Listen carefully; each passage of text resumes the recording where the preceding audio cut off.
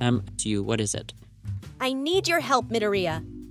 You're the only one I feel comfortable with enough to ask this, and the only one who wouldn't reject me? Why would anyone reject you, Tsuyu? Ayu, you. I'm not really that cute.